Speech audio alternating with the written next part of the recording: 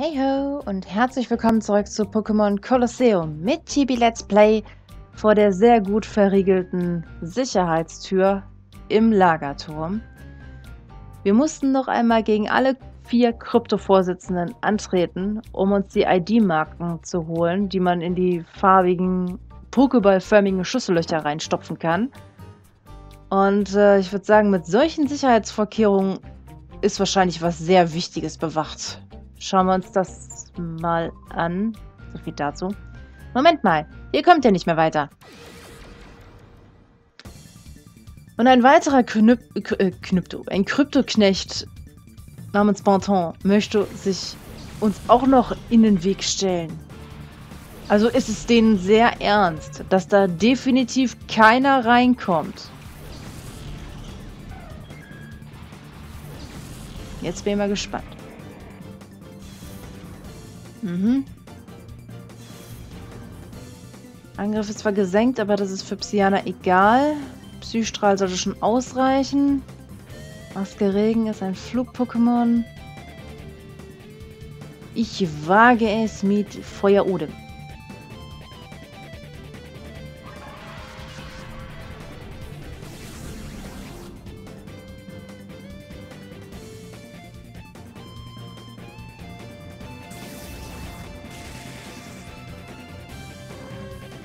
Okay.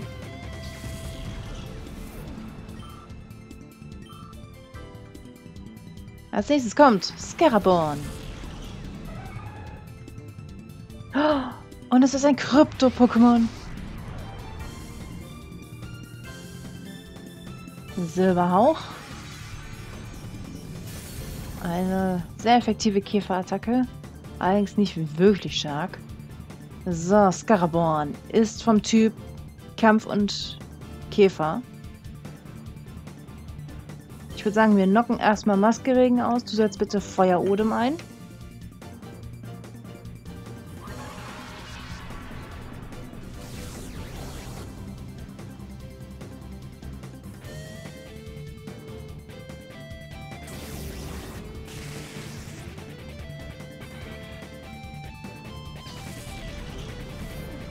Okay. Durchbruch. Tut schon weh.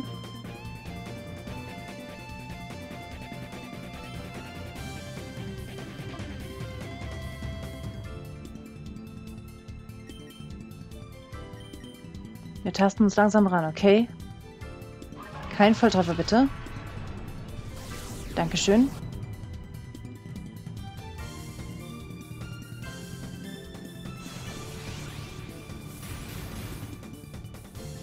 So. Noch einmal Durchbruch. Autsch.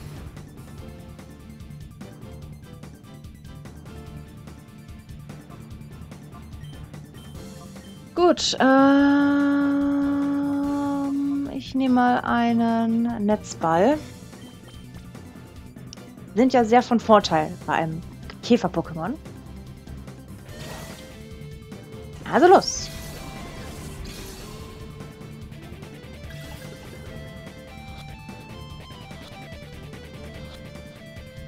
Jawohl, Scarborn wurde gefangen.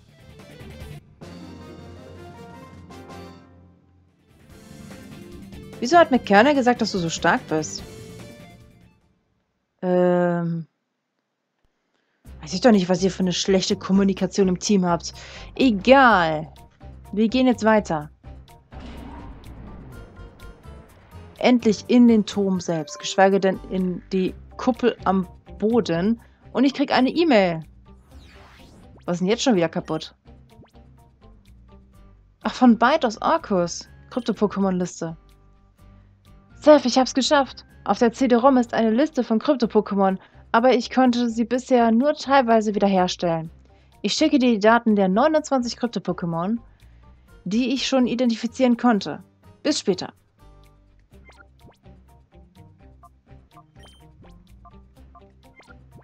Wo genau? Auch bei den Krallinfos wahrscheinlich. Lorblatt, Igellava. Gut, das sind die anderen beiden Johto-Starter, die man ja sehr früh bei Fennec schnappen kann. War ja damals so, ähm, dass drei Kryptoknechte die, die ähm, Ausgänge nach Süden, Westen und Osten versperrt haben. Und man dann wahlweise einen herausfordern kann und so auch wahlweise eben einen Starter bekommen kann. Wir hatten uns damals für Tyra Krok entschieden von Mystery-Soldat Marino. Die sind von den anderen Mystery-Soldaten. Und dann haben wir noch die Daten von einem sogenannten Meter Groß. Ich weiß schon, was Sache ist. Aber dazu später mehr. Erstmal betreten wir jetzt die wunderschöne Lobby des Lagerturms. Trommelwirbel bitte! Fanfare! Beifall! Juhu! Die Eröffnung findet gerade statt. Und seit der Eröffnung des Turms bist du gerade der tausendste Gast. Glaubst du das wirklich? Schließlich ist gerade erst Eröffnung. Rocker Ray hat einen interessanten Humor. Blanas und Georock sind seine Pokémon. Gut.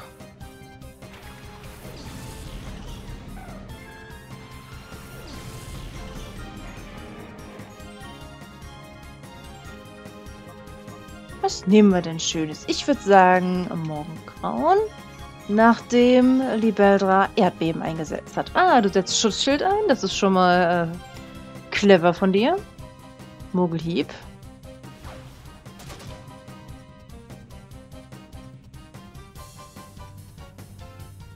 Schreckt zurück. Naja, egal. Wenigstens das funktioniert. Okay, gehen wir einfach mal anders in die Sache ran. Psychokinese auf Georock. Feuerodem auf Blanas. Du setzt wieder Schutzschild ein. Ja, schön für dich.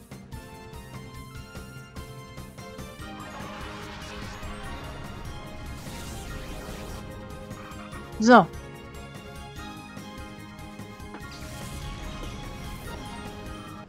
Yay, Level Up für Psyana. Was kommt als nächstes? Hariyama.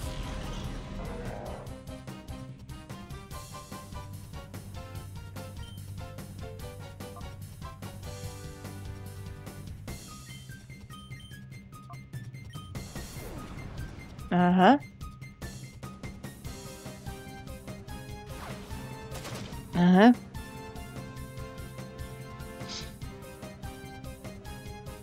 Beldra schreckt wieder zurück.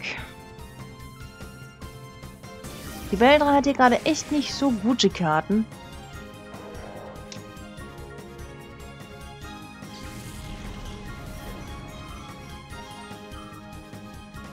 Aber das Gute ist, dass Georg ist nicht explodiert bis jetzt.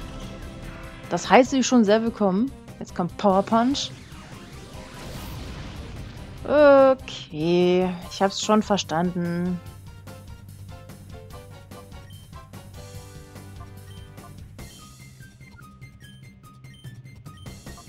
Die Beldra, komm bitte zurück.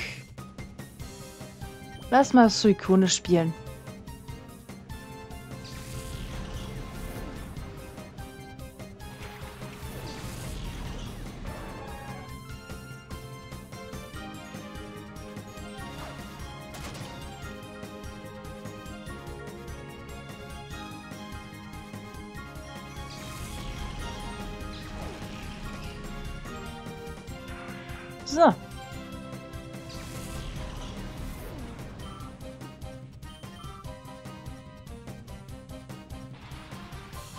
Steinwurf zum Gruße. Mhm.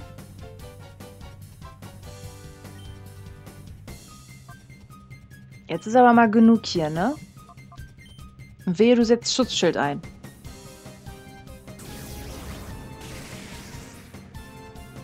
Hat schon gereicht, wunderbar.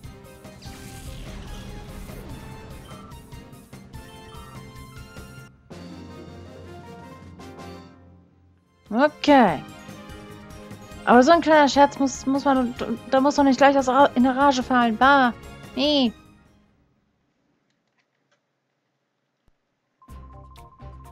Gib zu, du warst ein wenig stolz, der tausendste Gast zu sein, oder? Nee. So, das ist also das Foyer. Das, beziehungsweise die große Lobby. Interessante Bilder. Was haben wir denn da?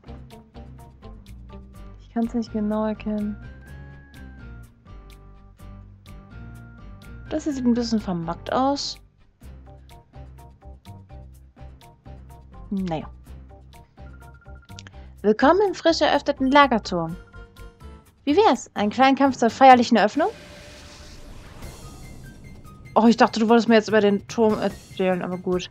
Paina ist unsere nächste Gegnerin mit Flunkiefer und Metang. Und ich habe vergessen, Libeldra nach hinten zu packen. Mm.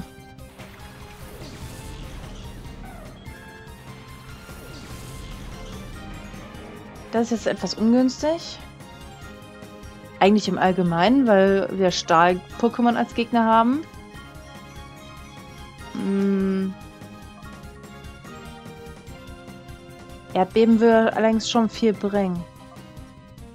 Aber Metang müsste Schweben beherrschen.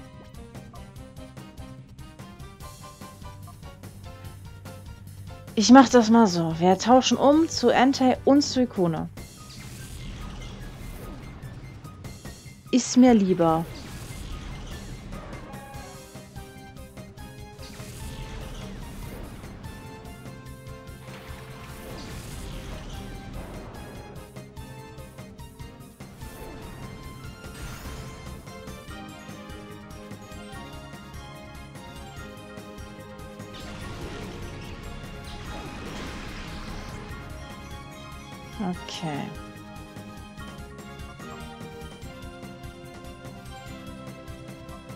Feuersturm und Surfer.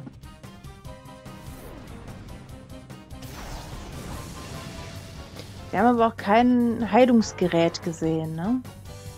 Müsst ihr wahrscheinlich den Weg wieder zurücklaufen. Weil die Tränke würde ich gerne noch ein klitzekleines bisschen aufbewahren.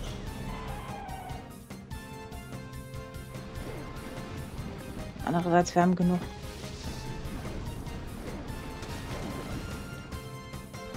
Ich muss jetzt nicht am falschen Ende geizig sein, denke ich. Wir sind zwar schon sehr nah am Ende, aber an sich sind wir gut gerüstet.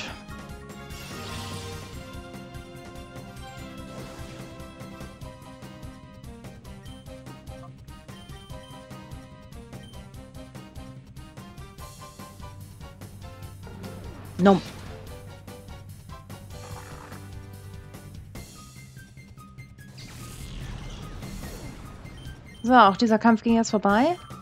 Ohne Krypto-Pokémon. Huch, eigentlich hatte ich, hätte ich doch gewinnen wollen.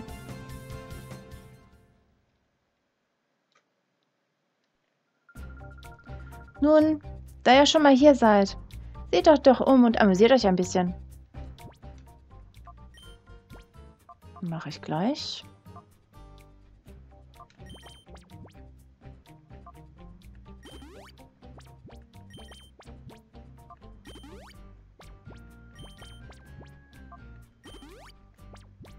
So.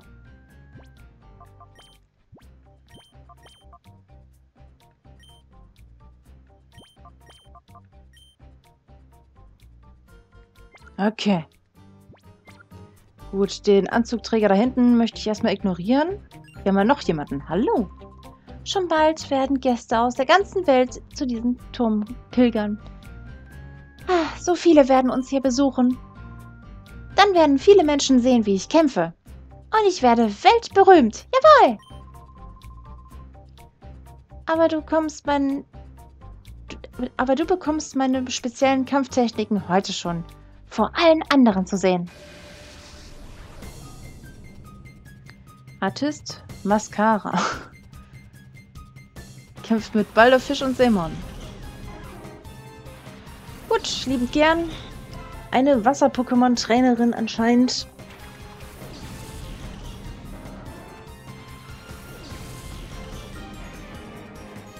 Da ist die Beldra natürlich wieder so ein bisschen vom Nachteil, aber Er macht den Solarstrahl. Andererseits, warte mal. Baldorfisch ist ein Gift-Pokémon. Weißt du was? Ich nehme Erdbeben. Hat doch Step.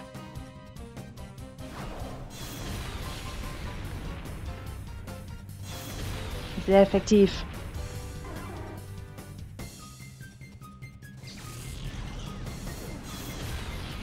Volltreffer. Yay!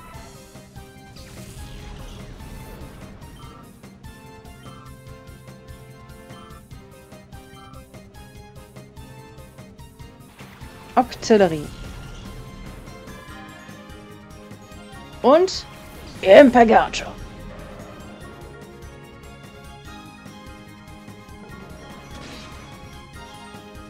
Okay.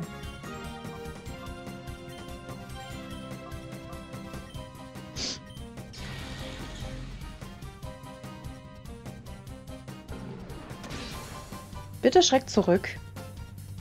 Nein, Hydropumpe.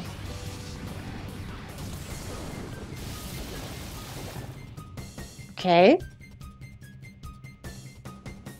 Ich dachte, das ging zu Libellra, aber ist okay.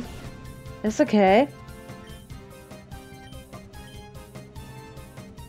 Und Solarstrahl.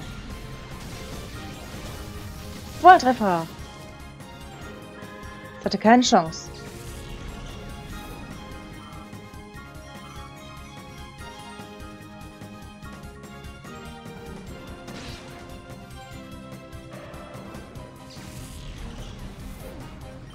So.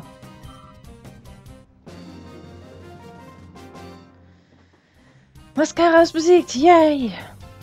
Oh nein, ich habe verloren, bevor ich berühmt werden konnte.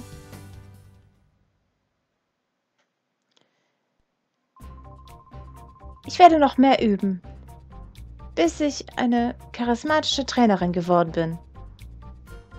Okay, das ist doch schon mal ein guter Ansatz. Und hier ist nochmal ein Bild von Roselia. Da haben wir eins von... Äh, äh boah, wie hieß es nochmal? Kapaloris. Was ist hier? Slot Machines? Hier ist eine Spielhalle. Oh. Du bist also dieser Seth von Team Krall, hä? Mit dir wollen wir schon lange kämpfen. Und ich werde der Erste sein. Jetzt zeig mir mal, dass du wirklich so toll kämpfen kannst, wie alle immer sagen. Biker Jack. Mit einer Wand voll einarmige Banditen hinter sich. Setzt Donphan und Sandama ein. Bodentypen. Gut.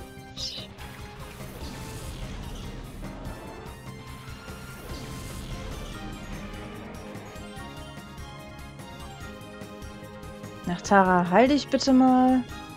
Und Suikune kommt im Austausch für Libeldra rein.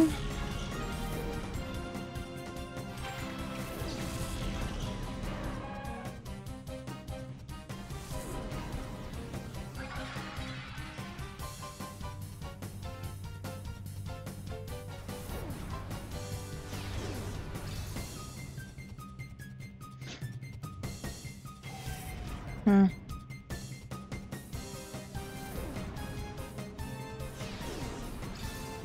Hmm.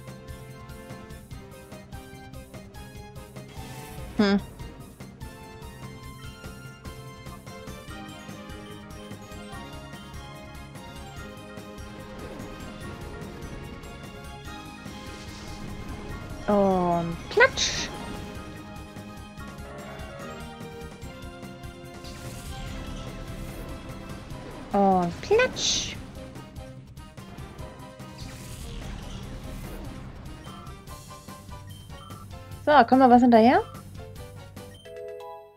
Level up für Libeldra. Yay! Awesome! Morlord.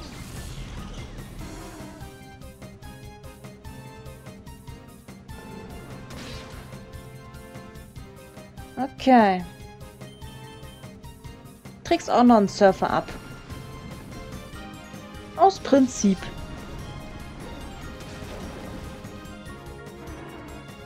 Man fühlt sich nicht äh, benachteiligt. So. Okay, ich setze mir nochmal ein bisschen um. Dann schläft man halt das Bein ein. Ja. So, äh, ich, ich bin besiegt.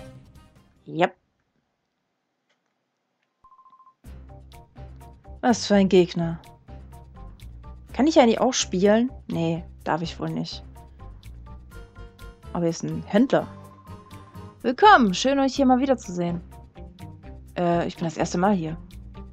Wie? Erinnerst du dich nicht an mich? Ihr müsst euch doch erinnern. Es ist schon eine Weile her. Wir haben uns in Fennec getroffen. Oh. Marino! Von dir haben wir doch Tyrakrok gekrallt. Mein Name ist Marino. Ihr habt mich vielleicht vergessen, aber ich vergesse nichts. Ihr hattet... Ihr hattet die Stirn, mir Tyrakrok zu stehlen. Also ihr hattet den Mut. So, so soll es mal stehen. Okay. Aber heute ist end endlich der Tag der Abrechnung gekommen. Endgültig.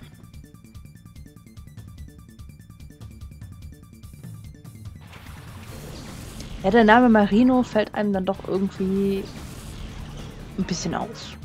Ich glaube, der andere hieß Rosso. Aber wie der Grüne hieß, weiß ich nicht mehr. Rosso konnte ich mir auch noch merken im Sinne von Ruß.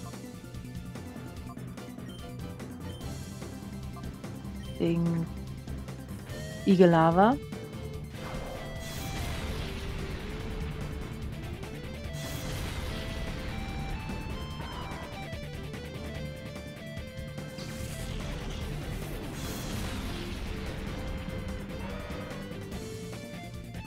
Gut, dass die Halle dabei nicht noch kaputt gegangen ist.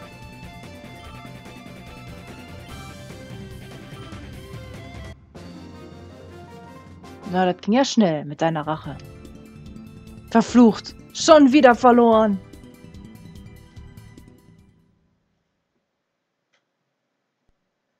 Und weg ist er. Na, sowas. Kann ich aber auch mit nichts interagieren, ne? Na, höchstens mit dir. Die Organisation, die diesen Turm gebaut hat, will hier wohl reiche Persönlichkeiten aus aller Welt versammeln und ein Riesenvermögen scheffeln.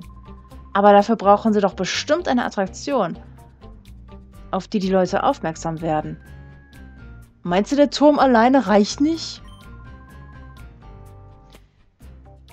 Nee, ich denke mal eher, dafür sind die Kämpfe mit Krypto-Pokémon gedacht. Rasacho. Ja gut, okay. Hey, Krypto-Pokémon haben natürlich auch irgendwo ihren Reiz, denke ich mal. Zumindest in irgendeiner Weise. Ich persönlich verstehe es nicht so ganz. Ich meine, du hast dann ein Pokémon, was sehr eigenwillig ist. Was auch mal dich selber angreift. Äh was auch keine neuen Attacken lernt, was auch nicht auflevelt. Es wirkt irgendwie so ein bisschen... Nee. Also ich verstehe den Reiz noch nicht ganz. Nur weil sie jetzt stärker sein sollen. Angeblich.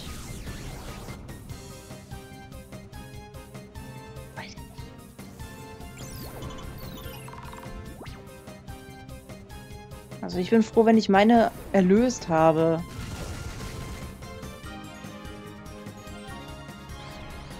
Ah, toll. Enter ist verwirrt. Ich wage es trotzdem mit Feuersturm und Feuerodem. Es wird sehr feurig hier.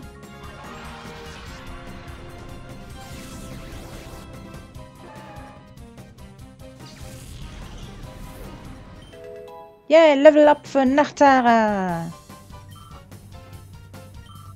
Und für Entei. Yay!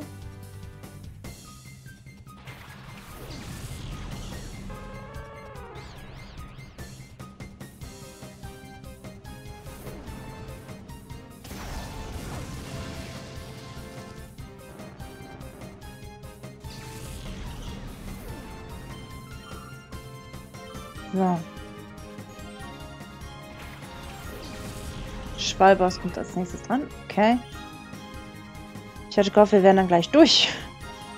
Aber gut.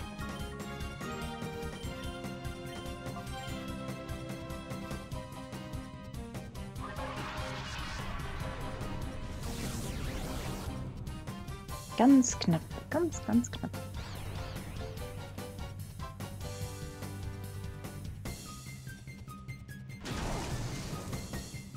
Okay. Was? Schwabes leuchtet? Das wird offenbar eine Attacke werden.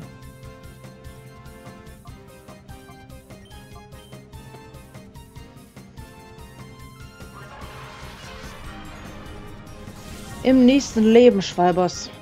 Tschüss!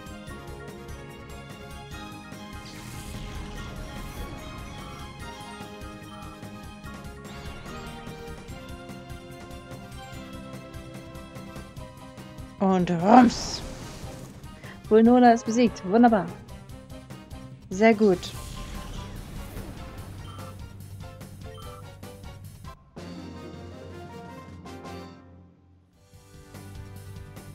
Es sieht mir gar nicht eh nichts zu verlieren. 800 Pokédollar mehr nicht? Oder habe ich mich gerade verlesen? Na egal. Und, kapiert? Kämpfe sind immer eine Attraktion. Egal, wer gewinnt oder verliert. Ja. Nun gut, dann kann ich diesen Raum auch mal verlassen.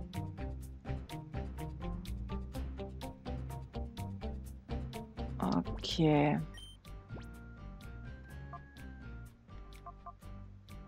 Haben alle ein bisschen einstecken müssen, ne?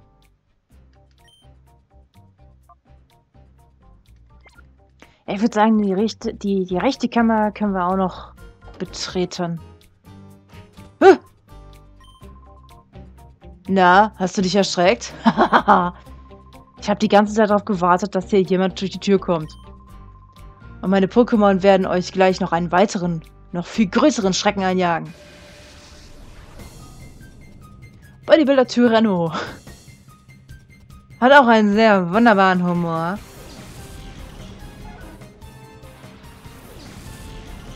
Interessanterweise hat er einen Knolluff. Das passt irgendwie nicht so ganz. Obwohl, irgendwie finde ich es jetzt gerade noch viel witziger, wenn ich drüber nachdenke. Egal. Wir rumpeln erstmal ein bisschen rum. Und dann schauen wir, dass wir vielleicht doch in die kleine Kammer kommen. Wäre schön, wenn ich da meine lieben Kleinen heilen könnte. Ne? Sonst müsste ich den ganzen Weg wieder zurück. Bei diesem komischen Tunnelsystem. Das zwar sehr linear aufgebaut ist, aber irgendwie... Weiß ich nicht.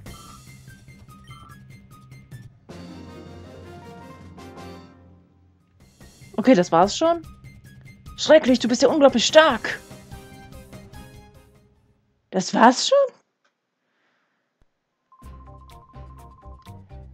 Die ganze Zeit stillzustehen und einfach nur zu warten, das ist unglaublich anstrengend.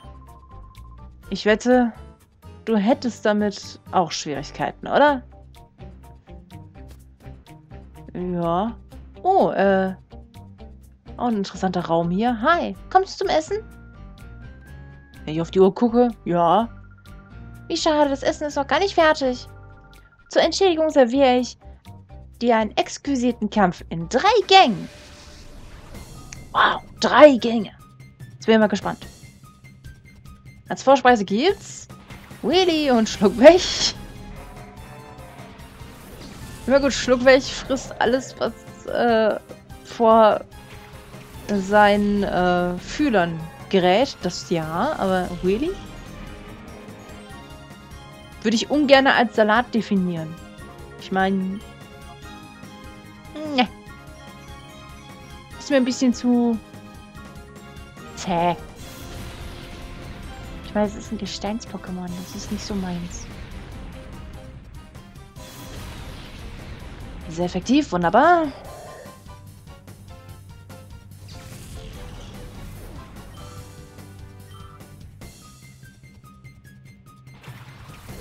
Noctu ist der zweite Gang. Wett.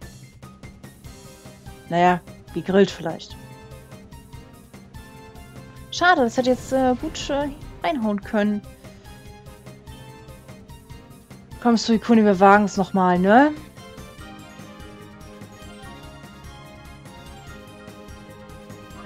Ist zwar schon sehr angeschlagen, aber ich wage es einfach trotzdem.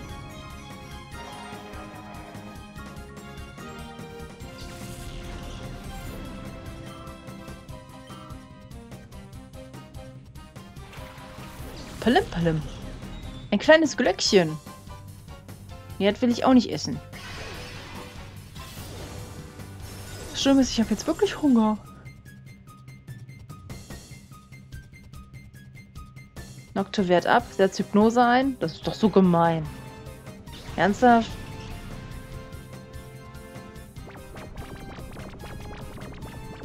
Vivalda schläft also mit offenem Maul. Okay.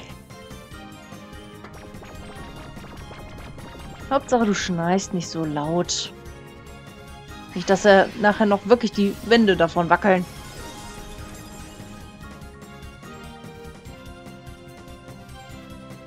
Sag mal, was? Warum?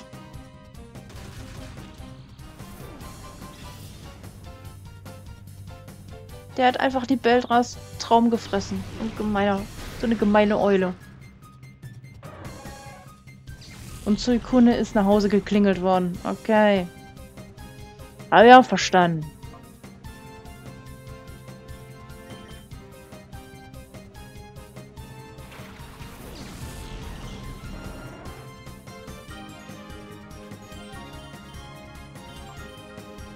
Die Beltra ist aufgewacht und rächt sich mit Feuerode.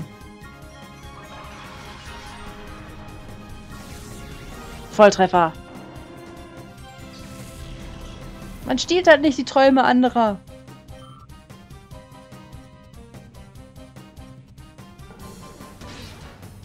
Egal, wie, wie wenig Geld man hat, reich ist man immer, wenn man seine Träume im Herzen behält. Egal. Hören wir machen weiter. Exquisit. Gebt ja gleich exquisit eins auf die Nuss. Lass mich bloß in Ruhe. Ich wollte nur ein wenig Sport von dem Essen treiben. Aber das war wirklich heftig. Zu heftig. Hier ist die Bar. Mit Jukebox, die nicht ganz anspringen will. Irgendwie ist noch nicht so viel los. Aber das kommt noch. Gut. Ja, ähm, im Grunde bleibt jetzt nur noch der Typ im schwarzen Anzug. Um den kümmere ich mich dann im nächsten Part. Und äh, ja, was alles noch so anfällt. Und euch heile ich lieber erstmal. Mein Lieben, danke fürs Zusehen und bis bald. Chibi, tschüss.